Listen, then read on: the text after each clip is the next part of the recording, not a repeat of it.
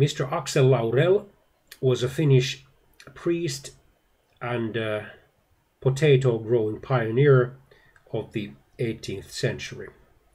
He was born in the western Finnish town of Hämeenkoski in May 1715 and died in the southern to southeastern Finnish town of Asikkala in October 1790. He started school at a grammar school in Helsinki in 1723.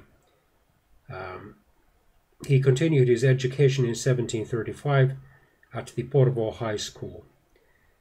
Uh, he finished school in Turku during the academic year 1937 to 1940. He was ordained a priest in 1740 and appointed chaplain of Asikkala Lutheran Church in 1744.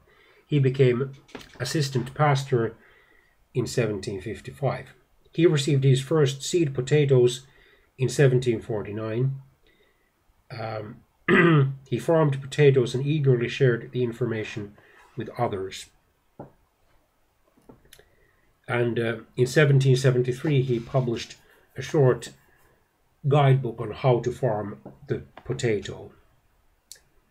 He reasoned that the potato was a good food plant